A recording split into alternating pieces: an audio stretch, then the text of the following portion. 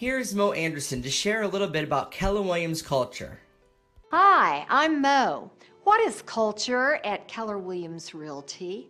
Culture is the predetermined way that we agree we will treat each other.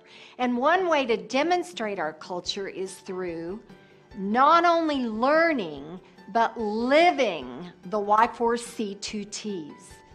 David Radney, 2015 Cultural Ambassador of the New York Tri State region, embraces T for teamwork at a very high level. During a bold session, David and his fellow associates were challenged to make phone calls to expired listings. He noticed a classmate nearby who was struggling with the task. David overheard her crying as her first call ended in rejection. With a deep belief that we all succeed together, David approached her with words of encouragement and support. He came up to me and he grabbed my hand, looked at me, and said, You are a great salesperson and you can do this.